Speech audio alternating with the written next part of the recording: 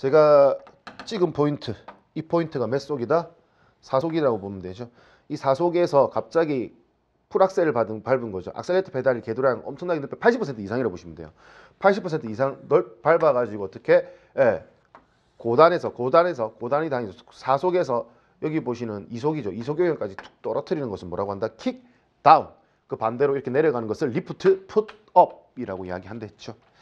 그래서 여기서 요구하는 답은 뭐가 된다? kick down을 선택을 하시면 되겠습니다. 아, kick down을 어, 제도 되느냐 물어본 거니까 가속 페달을 완전히 밟았을 때라고 어, 선택을 하시면 되겠네요. 음. 자, 그 다음에 14번에 단순 유성기어 장치에서 입력과 출력의 회전 방향이 반대로 바뀌기 위해서 어 고정 뭐가 고정돼야 되는지 물어보는 거죠. 단순 유성기어에서 캐리어가 고정이 되었을 때 어떻게 된댔어요? 썬기어와 링기어의 회전수가 반대로 회전 방향이 반대로 바뀐다라고 이야기를 했었습니다. 그래서 답을 캐리어로 고르시면 되겠죠.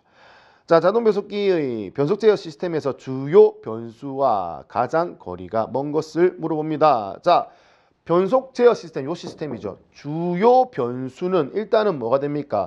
차속 혹은 뭐 출력 회전수라고 보시면 되죠. 차속 혹은 출력 회전수. 어. 예. 그다음에 뭐 스로틀 개도량이 있어야지 이 그래프가 완성될 수 있다는 얘기죠. 그래서 요 두 개가 메인이라고 보시면 되고요. 그리고 PRND D 위치에 입력 inhibitor 스위치로 입력을 받아야지만 이 제어를 할 수 있는 거죠. 그래서 선택 레버 스위치도 중요합니다. 자, 축압기 어큐뮬레이터의 용량이라고 되어 있습니다. 자, 이 축압기는 자동 변속기에서 어떤 용도로 사용되느냐?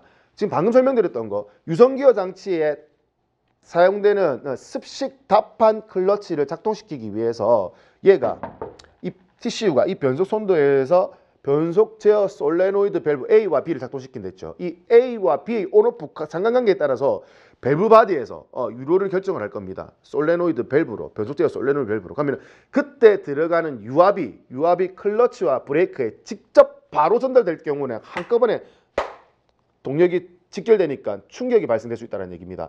이때 이때 중간에 어떻게 병렬로 병렬로 축압기라고 하는 어큐뮬레이터라는 것을 집어넣어서요. 이 어큐뮬레이터는 유압이 이렇게 흘러갈 때 중간 라인을 딴 거예요.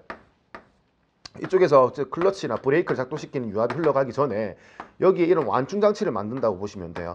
어, 피스톤 같은 걸 넣어가지고 아래쪽에 스프링을 받치는 거죠. 그럼 유압이 흘러가다가 얘를 작동시키기 전에 병렬로 들어가서 어떻게 유압이 한번 완충시켜주는 역할을 가지고 난 이후에 작동을 시키기 때문에 작동되는 클러치와 브레이크가 어떻게 부드럽게 작동이 될 수 있다는 겁니다.